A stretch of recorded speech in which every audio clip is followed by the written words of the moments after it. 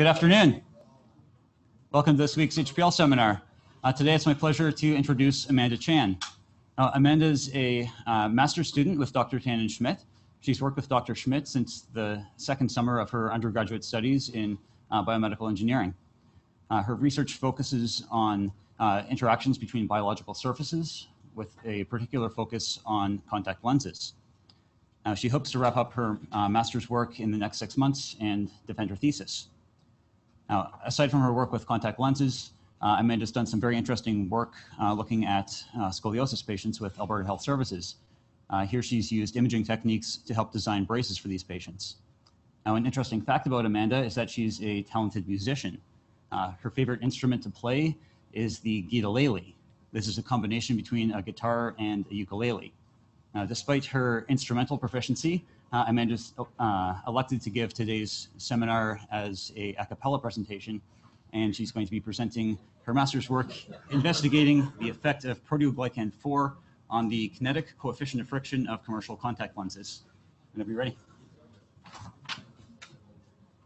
Awesome. Thanks, Ian. So there are over 140 million people in the world who wear contact lenses. Unfortunately, a lot of these contact lens wearers suffer from signs and symptoms of dry eye disease. So this could cause discomfort, dryness, redness in the eyes, or even uh, visual disturbances. Dry disease affects over 30 million North Americans, and it is believed that contact lens usage actually induces dry eye disease. So this has led to a reduced use of contact lenses and even discontinued use of contact lenses. So when we blink, there are significant frictional forces that act on the cells of the ocular surface as well as our eyelid. Now, when we wear contact lenses, these frictional forces are actually even higher. So this is important because contact lens friction is the strongest indicator of contact lens comfort. So this means that the lower the friction of a contact lens, the more comfortable it is to wear. So currently in the contact lens industry, there's no industry standard to measure in vitro friction of contact lenses. There has been a couple studies, such as one where they used mucin-coated glass um, and rubbed that against contact lenses. So that's shown in the figure here. Um, however, um, glass is a hard surface and it doesn't reflect the mechanical properties of human eyelids. So there is a desire among the research uh, community um, and also of contact lens manufacturing companies to find a way to measure the coefficient of friction both precisely and accurately, given that now we know the important correlation between contact lens comfort and contact lens friction. So soft lenses dominate the contact lens um, market nowadays. So there's two main types of contact, soft contact lenses, conventional hydrogels as well as silicone hydrogels. Conventional hydrogels are mostly hydrophilic, but they have a low oxygen permeability. On the other hand, silicone hydrogels have uh, silicone in them, and they are more hydrophobic, but they have a higher oxygen permeability. So silicone hydrogels are the most popular types of contact lenses on the market today, in Canada in 2015, it's estimated that 72% of all soft lens prescriptions are of silicone hydrogels. So if anyone here wears um, any contact lenses, chances are you might see it among one of the brands listed right here. So proteoglycan 4, or PRG4, also known as lubricin, is a mucin-like glycoprotein that has been discovered naturally on the eye. So that's seen in red in this uh, figure right here. So you can also see in this picture, this is uh, two pictures of mice, mice eyes. Uh, one here is the, the top one here is the wild mice, and you can actually see uh, evidence of PRG4 on the eye. Whereas here without, um, in mice that is knockout, PRG4 knockout, you can see ocular surface damage on the eye. So you can see the importance of PRG4 here. So in our lab, we've shown that PRG4 is an effective ocular surface boundary lubricant. Uh, previous work done by a PhD student, Michael Samsom, has shown that PRG4 reduces friction between human eyelids and commercial contact lenses. So uh, this is uh, one of the graphs of his work. So we have kinetic friction on the vertical axis and also the sliding velocities uh, on the horizontal axis. And what he did was he compared a a contact lens called Acuvue Oasys with and without PRG4. So if you look at this line here, this is without PRG4, and it has significantly higher friction compared to lenses that have PRG4 in it. So recently we've uh, been able to re receive recombinant human PRG4 expressed from Chinese hamster ovary cells, the cell line. And so this is important because now we are able to um, use this PRG4 clinically in humans. So indeed, uh, we are, we've been actually doing that. Uh, there's been a recent clinical trial, a two-week clinical trial, comparing RH PRG4 eye drops against HA eye drops in patients with dry eye disease. And so what we found from this trial was that PRG4 was able to uh, significantly improve signs and symptoms of dry eye disease when compared to HA. So this is really promising and it shows that there's potential for clinical use of RH-PRG4. Now for our lab, we're interested in seeing how this RH-PRG4 can be incorporated with contact lens usage. So there are three different ways that we can go about incorporating RH-PRG4 usage into contact lenses. So the first is a overnight soak solution. So for those of you who wear contact lenses, um, what you typically do at night, you take off the contact lenses, you wash it, and you put it in a saline soaking solution. So we could incorporate PRG4 in this overnight soak solution. However, this, um, this option is quite uh, expensive because of the large quantities of RH-PRG4 needed. Another option is a lens coating. So we can actually um, coat, uh, use RH PRG4 to coat the lens or um, yeah, so, but we found that there might be an issue with this option because when uh, in the manufacturing process of contact lenses, the last step is to sterilize contact lenses by autoclave. So this is high heat, 121 degrees for 30 minutes. Now, RHPRG4 is a protein, and we think that this can actually denature the protein during this autoclave process. And lastly, um, eye drops. So we've talked about that before. So there's a potential that using RH PRG4 eye drops um, could be, this could be used with contact lens usage as well. So we decided to take a closer look into uh, the RH PRG4 coated contact lenses and to see if autoclaving PRG, RH PRG4 will actually affect its lubrication properties. So over the summer, we did a series of tests comparing autoclaved PRG4 and non-autoclaved RH-PRG4. So here uh, we have the kinetic coefficient of friction and different lens testing um, conditions on the bottom here. So the exact methodology of this test will be explained later on in the presentation. But if you focus on the red box here, we have autoclaved PRG, RH-PRG4. So what we did was we soaked lenses in RH-PRG4 overnight, and then we autoclaved them um, right before testing it in saline and we compared this to non-autoclaved RH-PRG4. We can see here that although there's not a significant difference between these two, um, there is a trend towards having higher friction when the RH-PRG4 was autoclaved. So um, from these tests, we decided to pivot away from looking at RH-PRG4 as a lens coating and focus on our two other remaining options. So this would be the overnight soaking solution where we um, incubate RHPRG4 um, lenses in the RHPRG4 and also the eye drops where we instantly incubate um, right before testing. So this brings me to the main question of my thesis. How does different lens types, different lubricants, and different lens incubation times affect the RHPRG4 lubrication? So the overall goal of my thesis is to understand which commercial lenses are compatible with RHPRG4 for friction reduction as a first step towards clinical use of RHPRG4. My hypothesis is that the incubation of lenses in RHPRG4 will result in a rapid adsorption of protein and a reduction of friction, even when it is tested in lubricant baths that are devoid of RHPRG4. So these are the materials I use for my testing. So first of all, cadaver human eyelids donated from the U of C body donation program. So yes, this means going to the anatomy lab in Foothills and cutting eyelids off dead bodies. So that's definitely an interesting experience. Um, also, phosphate buffered saline, uh, PBS. So I'll refer to that as saline throughout the presentation. We also received batches of RHPRG4 from the company Lubris, and Peregrine is a company that actually manufactures these batches of RHPRG4. And lastly, different contact lenses, Acuvue Oasys, Biofinity, and ProClear. So you may ask, why did I choose these three specific lenses? Well, Acuvue Oasys and Biofinity are both types of silicone hydrogel lenses, and they're both manufactured by different companies. They have different technologies um, and lens designs, such as for Acuvue Oasys, there's an internal wet, wetting agent uh, using polyvinyl pyrrolidone, or PVP, whereas uh, Biofinity uses a technology called Aquaform. We also decided to use a conventional hydrogel lens called ProClear.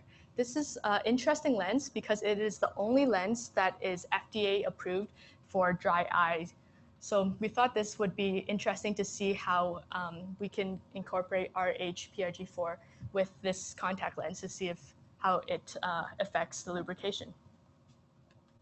So friction testing was um, carried out using the Biomomentum Mach 1 machine. So we are able to articulate um, two surfaces against each other using this machine. So to set up this machine, what we did was we cut out a little piece of eyelid and we mounted it on a custom eyelid holder. And at the same time, we mounted contact lenses on a custom contact lens holder and then we put a silicone sleeve over it so to create a lubricant bath. So this way the lens is always in solution during testing. So this is what it looks like in the test setup. We have the eyelid on the top articulating at a sliding velocity of 0.3 millimeters per second against the contact lens. So this is what the machine looks like in action. So you can see the articulation there. So to calculate kinetic coefficient of friction, uh, we take the uh, torsional forces and also the normal forces, and we calculate an average of that, and we plot it on a graph where we um, put we take five points. So this correlates to five tissue strains from 1 to 20 kilopascals, and we are able to fit a line through that and calculate the kinetic coefficient of friction. So this is the different, uh, derivative of the shear force over the derivative of the normal force.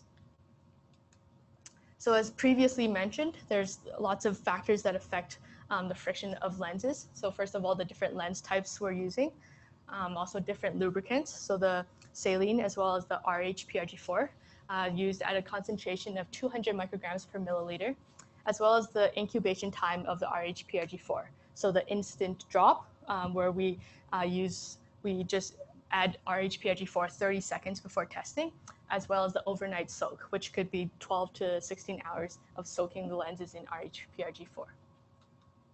So this is my first test sequence. So this is uh, testing the soaking solution. So here in the arrow diagram, you can see that there's two solutions. So the first one is what we soak the lenses in. And in the brackets here, this is what we test the solution, test the lenses in. So First, we start off with a precondition for the eyelid just to make sure that um, the eyelid is clear of any debris. And then we start off with a negative control. So we first soak lenses and test them in saline. So saline can be shown here in blue. Next, we soak the lenses in RHPRG4, and then we test them in saline. So RHPRG4 is shown in yellow here. Lastly, we soak and test the lenses both in RHPRG4. So this is the first sequence where we soak solutions. Our second, our second sequence is quite similar. Um, everything is the same except for step three. Here we soak lenses in, uh, in saline, and then right before we test, we put three drops of RHPRG4 onto the lens, and then we wait 30 seconds, and then we um, test in saline. So that can be seen in the box right here. So I decided to start um, my test with this test sequence. And these are the results from my first uh, test with the RHPRG4 drops. So we used uh, the Acuvue Oasys lens, and you can see that we have kinetic coefficient of friction again on the vertical axis and the different test solutions on the bottom. And what's interesting about these results is that it shows no significant difference in friction between the test conditions. So this was interesting because we've shown in previous work that RHPRG4 does reduce friction. So we kind of had to think about what, what could have happened during this test. So once again, we showed no measured difference in friction when RHPRG4 drops were added. So we kind of got to thinking, what could have gone wrong? Was it the concentration of RHPRG4? Was that not enough? Because um, in previous tests with Michael Samsom, we did use 300 micrograms per milliliter, but here we used 200 micrograms per milliliter. However, in the clinical trial that I mentioned earlier, they only used a concentration of 150 micrograms per milliliter, and they showed an effect where it improved signs and symptoms of dry eye. So we decided to look at something else, um, the different RHPRG4 batches. So um, all the clinical work that we've done before with the clinical trial, as well as uh, previous published work, was actually using a clinical batch of RHPRG4, which has since run out. And so uh, the work I've been using, I've been doing, I've been using a new batch of RHPRG4. And so we decided to look um, more specific, specifically comparing the differences between these two RHPRG4 batches. So this is a protein stain that we did comparing these two batches. So you can see here on the left, this is the previous clinical batch, whereas now the batch I'm using is the current developmental batch here. And what you can see from this protein stain is that with the current batch I'm using, there's a lack of multimers, of RHPRG4 multimers in solution. Now this is interesting because another previous PhD student of ours, Saleem Abubacker, had actually showed um, when he, he did his work, he compared solutions that are monomeric solutions versus the multimeric solutions of RHPRG4. And he actually found that uh, the multimeric solutions of RHPRG4 actually had a reduction in friction compared to the monomers. And he tested this in cartilage. So we think the same thing happened here um, and that the multimers are important in lens lubrication. So therefore, we decided to look with, uh, investigate further with a new batch of RHPRG4. So we recently had this new batch come in. It's a highly purified batch. And you can see here on the protein stain that there is both the presence of multimers and monomers. So we went ahead and did the exact same test with this new batch of RHPRG4. So this is the results with the new batch. Um, so once again, we tested with the Acuvue Oasys, and we have um, the kinetic coefficient friction and the different test conditions here. What we found was that there was a significant drop in friction once we added the RHPRG4 drops. So although it doesn't look like there's a huge drop in friction, it's around a 15% drop. And this is still significant because when we use when we have the clinical trial, they only use a concentration of 150 uh, micrograms per milliliter, and they were still able to show that um, having RHPRG4 actually improves signs and symptoms of dry disease. So it's important, uh, I think it's significant that here we show that um, adding RHPRG4 actually reduced friction in this particular uh, type of contact lens. So summary of my main findings so far, this is that the instant incubation of RHPRG4 reduced friction on the Acuvue Oasys lens. We also found that it is important to have multimers in uh, the lens um, as it affects the lens lubrication.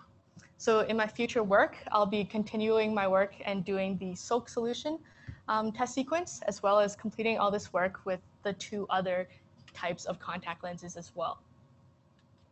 So the significance of all of this work is the potential application of eye drops for contact lens wearers. Ultimately, our goal is to commercialize RHPRG4 uh, to improve contact lens comfort and reduce dry eye disease in contact lens wearers. So I'd like to acknowledge my supervisor, Dr. Tannin Schmidt, Michael and Suresh, and the rest of the Schmidt Lab Group, the UOC Body Donation Program for the eyelids, and my funding sources as well. Thank you.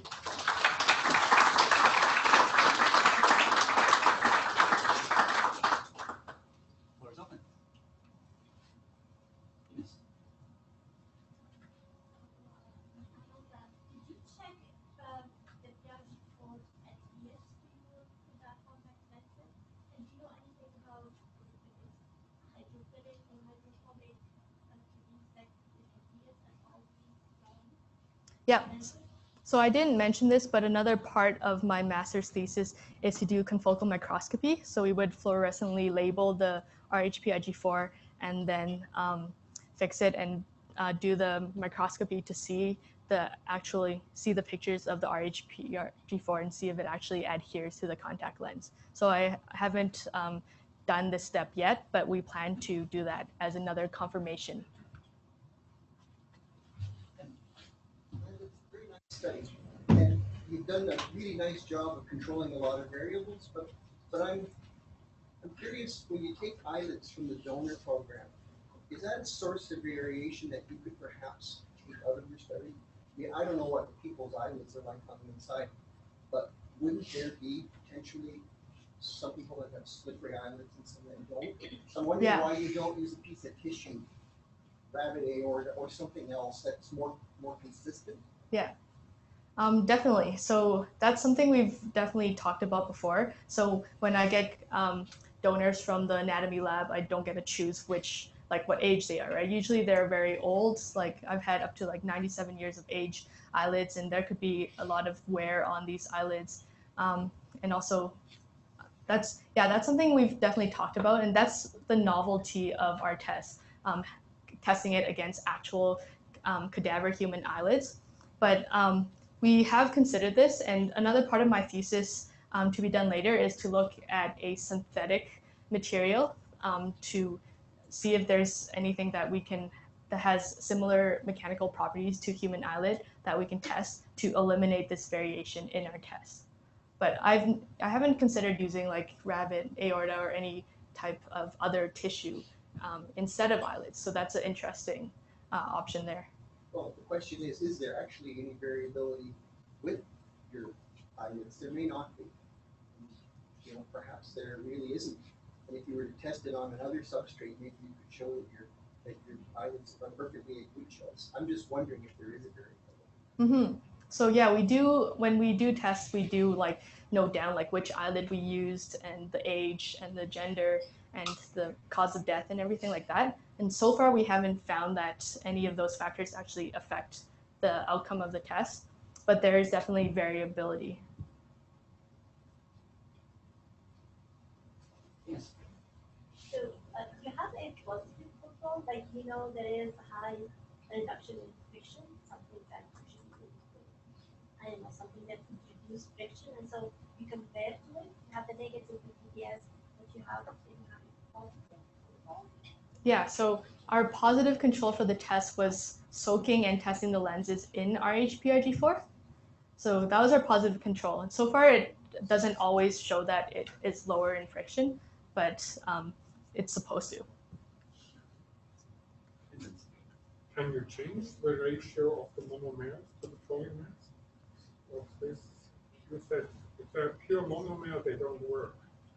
Um, yeah, we haven't tested only monomers, and I think what we get from it depends on what we the batch of RHPRG4 that we get from the company.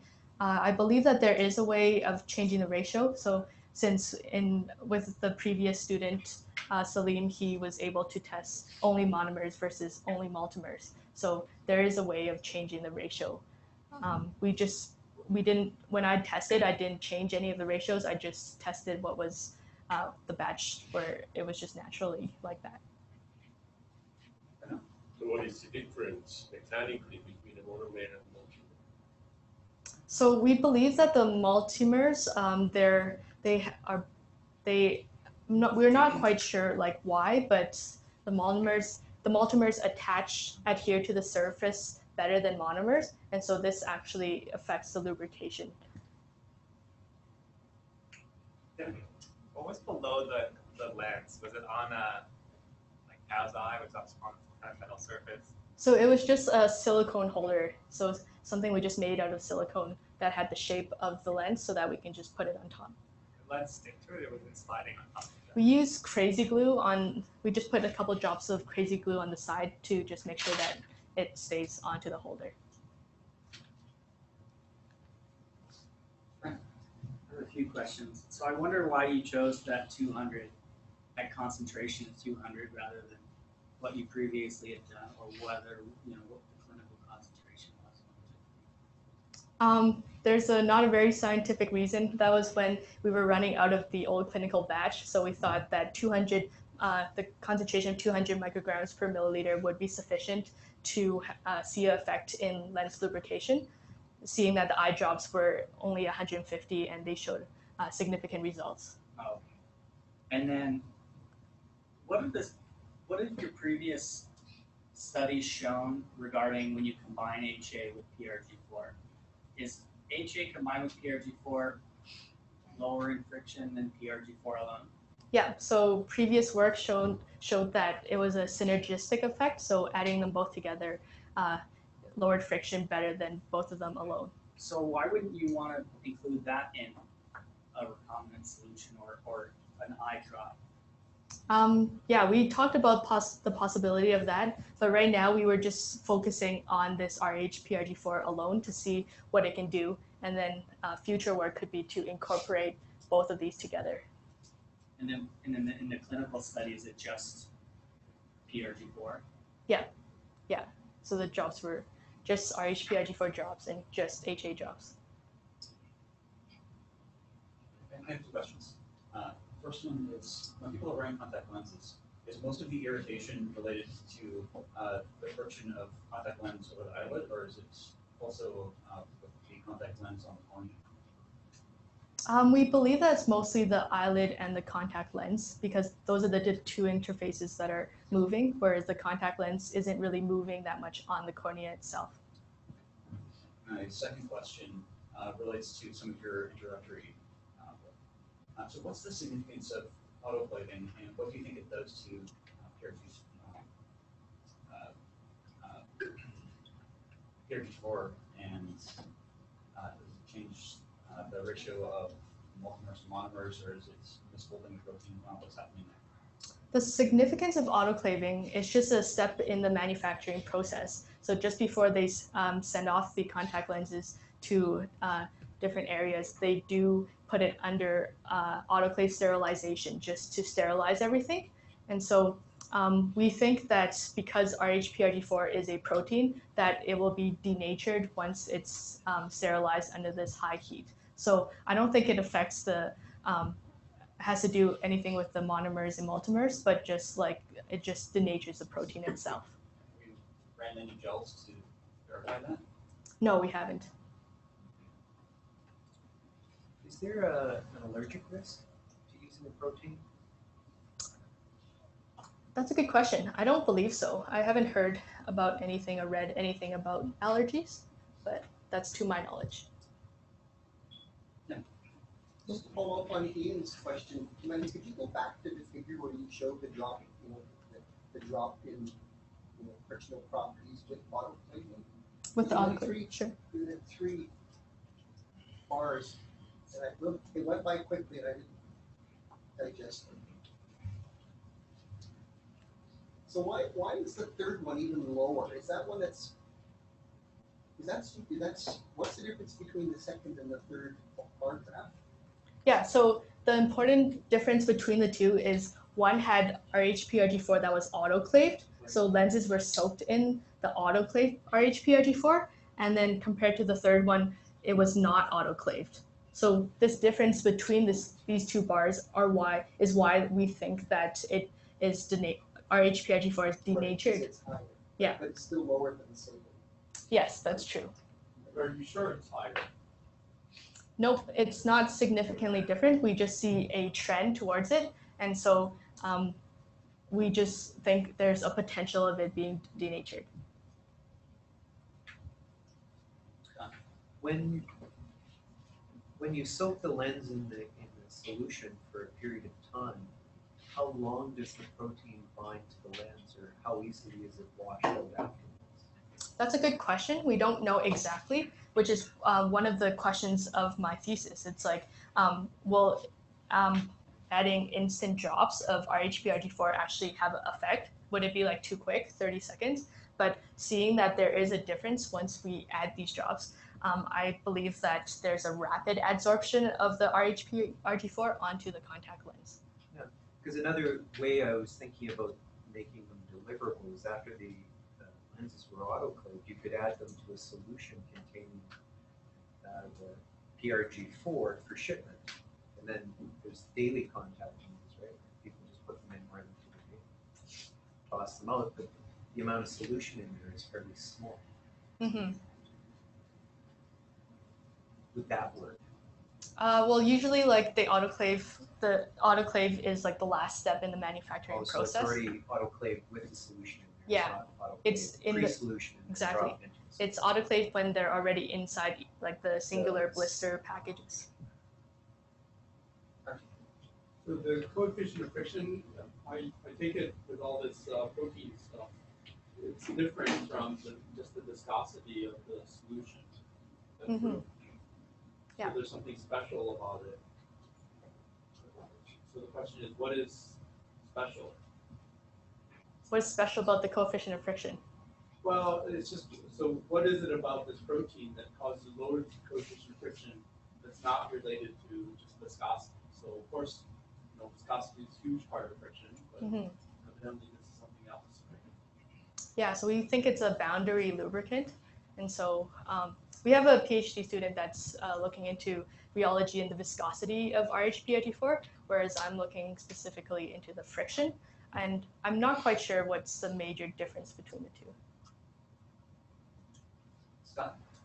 your new Mach 1 system and you can do the reciprocating sliding, which is really cool. Um, but with the, the Bose system, you had that torsion that kept going, right? And then you knew that you were in boundary lubrication after so many cycles, or if I remember correctly. Here, since the contact lens and the eyelid and stuff are in like a saline bath or PBS bath with whatever added, do you know that you're in boundary lubrication or are you in some in between hydrodynamic and boundary? And this leads into the question when you actually blink, I think I blink when my eyes start to dry out. Um, could maybe you simulate that? It'd be a lot harder to control, I think, on the Mach 1 though, rather than have it uh, submerged in a bath, but maybe put an eye drop in, wait a period of time, do a, a cycle, and then repeat that over and over again. More like feel like actual blinking. Mm-hmm. Yeah, so what um, Scott was talking about, our previous litter or our previous work, we had a Bose biomechanical machine where we articulated lens and eyelid like uh, a torsional force, whereas now with this new Mach 1, we're actually able to better simulate uh, blinking by articulating it like this. Sorry, what was your question? I suppose there were like two or three in there, but well, for, well, first, maybe you're washing out the effect of the PRG4 binding to the surface and contributing to boundary lubrication by having constantly available PBS, since everything's submerged in a bath. So Mhm. there might always be some hydrodynamic lubrication. I don't, I don't know what the velocity you test at. So the differences between the coefficient of frictions are not that like shocking like in the past in the with the Bose system you had big differences between PBS and your lubricants, your PRG4 and Tyler and all that. I'm wondering if it's still dominated by fluid phase Right. Of the lubrication. We believe that it's still in the boundary lubrication phase, but I think that's a good question, and we should definitely check to see um, if it's actually still in boundary lubrication. Yeah, and then the second point was just, could you, do you think it would be possible to simulate a more realistic like blink, where you have the drying out phase, and then you blink and relubricate? Yeah, it's definitely possible. So we, With the we could take out the lubricant bath and just have it, um, just yeah, don't have a lubricant in it. Um, it might affect like the static coefficient of friction compared to the kinetic more. Uh, since you mentioned it, what is boundary lubrication? That is a great question that I will need to go back and do more research on because I'm not quite familiar with the uh, two differences. Um, it has to do with uh, the fluid film having like a thin layer of fluid film, whereas boundary lubrication, um, it's the two surfaces actually um, having a interaction with each other. Can you go to the slide where you show how the friction coefficient is calculated?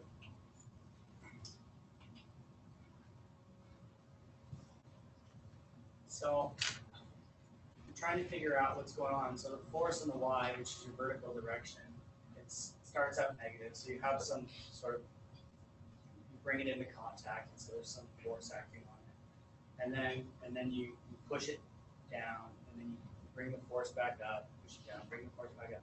But then the shear component kind of bounces between positive values and negative values.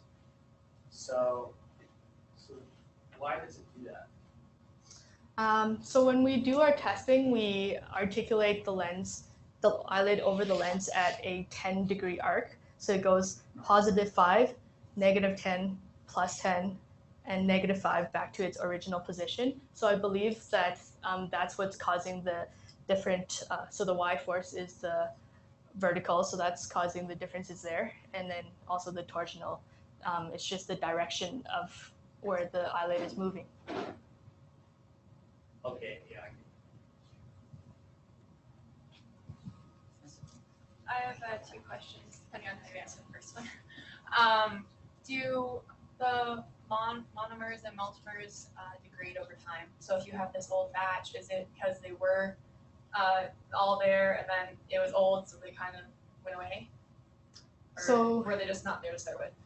Um, yeah, so we we keep our our HPIG4 in negative 80, and um, when we use it, we make a solution out of it, and we think it degrades after a day, so it's always kept in the fridge when we're soaking the solutions. So um, we do think that it uh, degrades over time for sure, um, but we don't know. We don't think that like um, because it's frozen, we don't think it degrades just like in the freezer like that. Okay, so um, in a practical sense, if you were to bottle this up and put it in stores or whatever for eye drops, um, how long is the shelf life then? Or do you need to keep your eye drops refrigerated, or how do you keep them from just becoming nothing? Yeah, that's a really good question. Um, we haven't looked exactly into that, but um, from what it looks like here, if our HPIG4 de- degrades within 24 hours, then it needs to be kept in a fridge. And so that could be inconvenient for people who want to carry it in their purse and use it whenever, right? So yeah, that's a definitely good question that should be addressed during the commercialization process of how we can actually use this. Yeah, just figure out the worst first. I guess. Yeah. That's Yeah. Enough other questions. Thanks very much, Amanda. Thank you.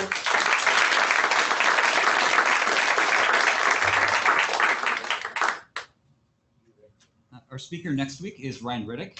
He'll be presenting on the uh, multi-articular and deformable energetics of the running foot. Thank you all for coming and see you next week.